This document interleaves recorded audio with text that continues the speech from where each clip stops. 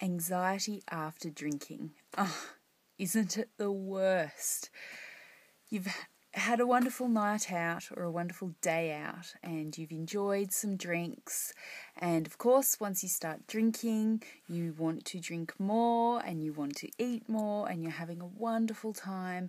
And you just drink more and more and more until suddenly you're not having such a wonderful time anymore.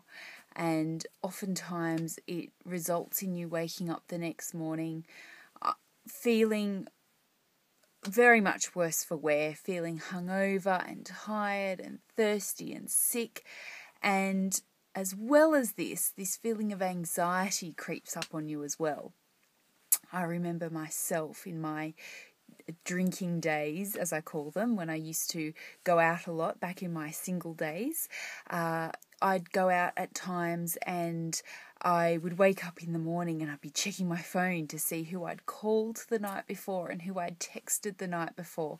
And just this feeling of anxiety would be just overwhelming and overpowering to the point that I actually got to the point where I stopped drinking altogether. And, um, for a while there and really curbed my partying ways and decided that that wasn't for me anymore.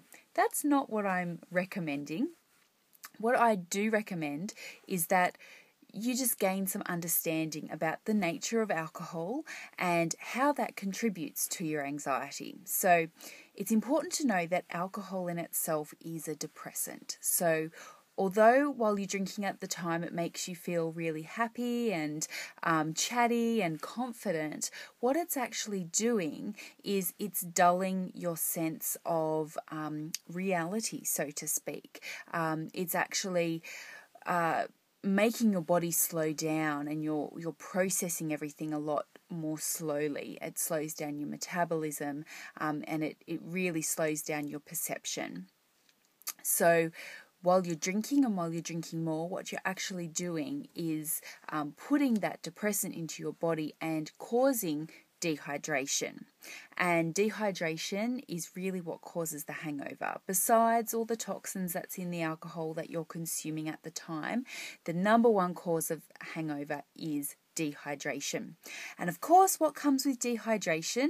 But rapid heartbeat, uh, sometimes you get sweats, you definitely get trembling, you get feelings of nausea. Um, and of course, what are these also symptoms of? they're also symptoms of an anxiety attack. So that's important to note as well that dehydration and hangover and anxiety attack or panic attack can often mirror each other in terms of the physical symptoms that you get with one another.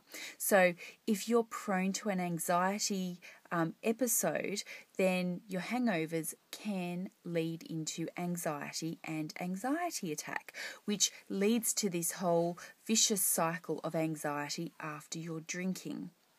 So, what I recommend that you do is when you're drinking, drink lots of water as well. Not only will this help to keep your alcohol consumption in check, it will also mean that your body has enough of that wonderful water. And if you think of water as being like white light, it really goes through and it cleans out your body on a physical level. So your hangover in the morning won't be quite as bad.